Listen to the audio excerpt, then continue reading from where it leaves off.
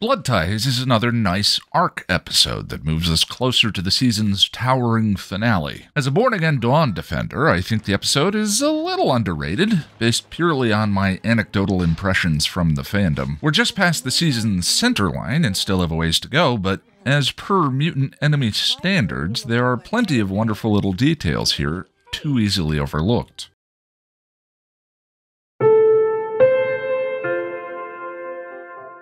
The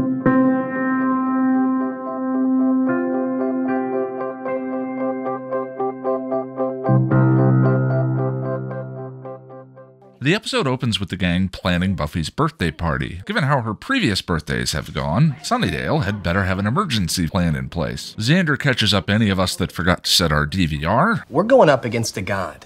An actual mightier than thou god. When the Scoob suggests spending time figuring out who the key is, Buffy and Giles inform everyone that they already know. You know, and you didn't tell us? I'm a little ambivalent on this point, one way or another. I get the feeling left out, but I'm not sure there's a strategic argument that they know who the key is. They should be aware that Buffy and Giles know, so they don't waste their time. But the episode proves to be an argument for either why Buffy and Giles not telling them in the first place was a good idea, or why they should have started with Dawn. Meanwhile, the Knights of Byzantium firm up their link as the religious symbol this season. Key is the link. The link must be severed. Such is the will of God. Glory's minions show up for a fight, and I like to think this minion executing the world's most unnecessary rope swing entrance is named Sunny, saying "we" under his breath, and thinks the other minions take their Glory worship a little too seriously. Glory appears and brain sucks the survivors. Tara and Willow immediately prove Giles and Buffy right for not having told them about Dawn, promptly making things weird. Xander and Anya make it weirder. Uh, Xander needs help with his thing. I love that this is essentially the Anya version of half the jokes on Buffy anyway. Dawn makes a mental note of Giles's Watcher journal, something nicely set up in Fool for Love. That night, Dawn gives Buffy a heartfelt present from before she existed, and everyone reacts with deep melancholy. The Scoobs are terrible at keeping secrets. Having had enough, Dawn breaks out to go get Giles's journal with Spike in tow. The two of them finally put the pieces together. The key is also susceptible to necromanced animal detection, particularly those of canine or serpent construct. Wonder if Oz would have seen Dawn as a glowy green ball of light. Dawn takes the news of her keennessness, uh, poorly. Buffy figures out Spike was with her, takes her anger out on him, and I actually love the way he sticks up for himself. It wouldn't be a season 5 episode without Dawn overhearing something she shouldn't. She hulks out, sets her journals on fire, and runs away. As the team searches, Xander Xander's things up a little. Killed, died for it. Summoned armies to control the key. You know, uh, she kinda has a crush on me. Okay, look, I get the way in which this line was supposed to be cute. Xander regularly feels insignificant, so having an ancient and powerful anything thinking he's neat is a nice boost to his ego. I'm just gonna say it has aged poorly and weirdly. Leaving it at that, Dawn finds her way to the hospital to ask Glory's victims what she is. One of the knights sees her and confirms what Dawn fears. Ben finds her and Dawn lets slip that she's the key. Ben freaks out and turns into the femme goddess. The gang shows up and stalls until Willow teleports her someplace. Just Katie. I love the sound design for the magic spell. It's a cool moment. Though, in the realm of quibbles, and now that I'm thinking about it, why didn't they send her the same realm as Olaf? Or some non Earth dimension? Maybe that's a longer spell with a lot of gourd shaking or something. Magic cord. Sorry, magic gourd shaking or something. And the episode ends with Buffy reassuring Dawn that whatever came before, the two of them are connected. Blood Ties is a nice, gentle plotisode, the most Dawn centric since Real Me. As I've mentioned in previous videos, the more I've watched Buffy, the more Dawn has grown on me. On a show steeped so heavily in themes of identity and self discovery, and in this season that represents the end of the adolescent allegory, Dawn's plight makes a certain sense. What am I? Do you know what a slayer is? Do you? Know there are Dawn detractors among us, but if anything, I've realized that whatever exhaustion I feel with her arc stems mostly from just how hard the plot has leaned on the tired cliche of having Dawn hover outside a room where the Scoobies are indelicately discussing her situation. I tried to make peace with it last episode, and her shirt here might be a subtle reminder of the Pink Panther reference from Checkpoint, but Hover Dawn happens twice in this episode alone. There has to have been a more clever way of building the tension over whether she was going to find out or not. More on Dawn in a minute, but at least after this one, everything is on the table. And this is still a solid episode with plenty of memorable moments. Sarah and Michelle's chemistry continues to be stellar. Glory is evil and powerful. and in no way prettier than me. As usual at this point in the season, there's a lot we can't get into yet without spoiling, but there are tons of odds and ends to highlight that also, you know, might be relevant later on. Maybe. Spike is always a fun character to have lurking in any episode. I Wasn't lurking.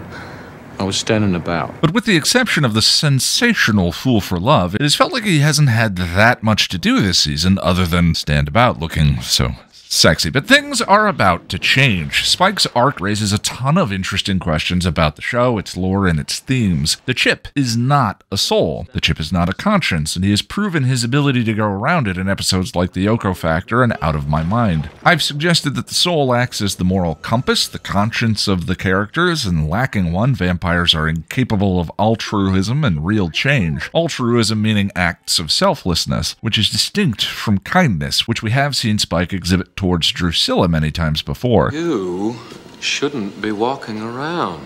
You're weak. But Spike's actions as the series unfold may begin to challenge that interpretation of the canon, and we'll examine each action as they emerge. For example, what he did for Tara in Family. Spike could have hung in the background for the duration of that scene, but he chose to use the chip's demon detectorness, shocking himself in the process, exposing Mr. Maclay's lie, and encouraging Tara to stick up for herself. This one is easy, but I still think it's important to look. Was that genuine altruism, a selfless act? Well, no. Probably not. Spike has a crush on Buffy, and it was an opportunity to save the day and embarrass an arrogant old man. But what about in this episode? Spike chooses to escort Dawn to the magic shop. Whole number of beasties between here and there. And then, importantly, doesn't go out of his way to tell Buffy about his good deed. At least, not by the time she bursts into the crypt and rages at him. The decision to keep it to himself is unusual, given it's not like Spike has been subtle in his crush so far. You want credit for not feeding off bleeding disaster victims? Well, yeah. And later, he displays actual tenderness to Buffy when she's punishing herself for Dawn running away. She probably would have skipped off anyway, even if she never found out. She's not just a blob of energy, she's also a 14 year old hormone bomb. He doesn't twist the knife, though again, kindness and affection are not impossible for vampires. There will be plenty more to discuss with Spike in the next episode. Tara seemed particularly horrified at the thought of what Glory does to her victims, what with the brain sucking and all. It struck me that the idea might not seem to her completely dissimilar to someone being misled and gaslit by an abuser. I couldn't help but think about what Mr. Maclay might have done to her mother. At least vampires just kill you. In the realm of shattered realities, though, there is nothing quite like what Dawn is going through. There is an adoption metaphor at play here with her finding out she wasn't born into the Summers family, but on top of that is the more significant information that until six months ago she simply wasn't. And Michelle's performance here, bearing the weight of that revelation, is outstanding. Dawn takes a lot of crap for. Get out, get out, get out! Even I've had some fun with it during our live streams, but I have two things to say about it. First, Michelle's performance evokes in me recollections of powerlessness when I was that age. Everyone is older, everyone has more say than you do, and sometimes your frustrations with the boundaries over which you have no control bubble over into moments of rage. That panicked freakout she has in the bedroom is probably not altogether dissimilar from moments of frustration and rage I experienced with my own family when I was her age, and I wasn't a glowy ball of green light with made up memories and a hell god trying to, for all intents and purposes, kill me. Second, though, is it's a little baffling to me the hyperemphasis on get out, get out, get out in the fandom while ignoring the crushing pain and intimacy of Dawn's moment from one second before. Granted, there's a second appearance of Get Out, Get Out, Get Out, but we'll jump off that bridge when we come to it. I love the final scene between Buffy and Dawn. The blood is a significant reference to the fact that Buffy and Dawn are linked, one of several linked pairs this season. The most obvious were the two halves of Xander, but Ben refers to his sister in this episode, presumably Glory, before he turns into her. Spike also made an accidental reference to Buffy and Dawn's connection earlier when he referred to Dawn as Little Red Riding Hood. But they'd really go for a little Red Riding Hood like you. When Buffy was stripped of her powers and helpless, she wore a red cape, and Kralik spoke to her as the wolf. Why did you come to the dark of the woods? To bring all these sweets to Grandmother's house.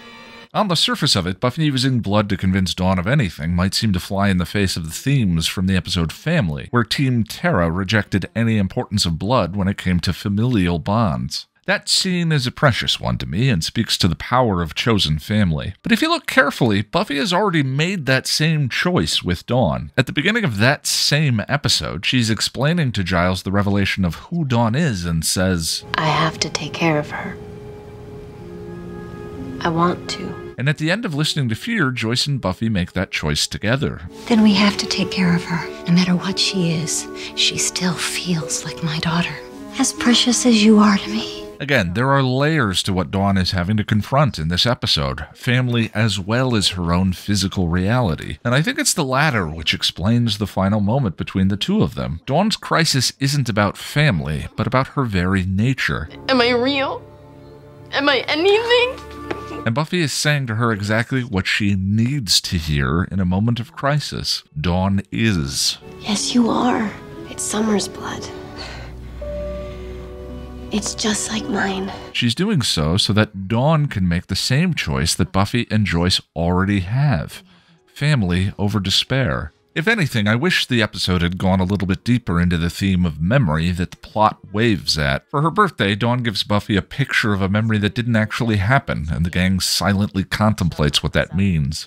I remember. Later, Dawn burns up years of those journaled memories. Tara's memories of the family she grew up with were all real, even if some of them are memories of lies her father told her. But the point is that, real or not, memory is still just a story. What matters is what Dawn, Buffy, Joyce, and the Scoobies choose to do with them today, right now. For the second time in two episodes, I was reminded of a scene from The Matrix. After learning what reality actually is, Neo re enters The Matrix for the first time and doesn't know how to process the experience. He turns to Trinity and says, I have all these memories of my life. None of them are real.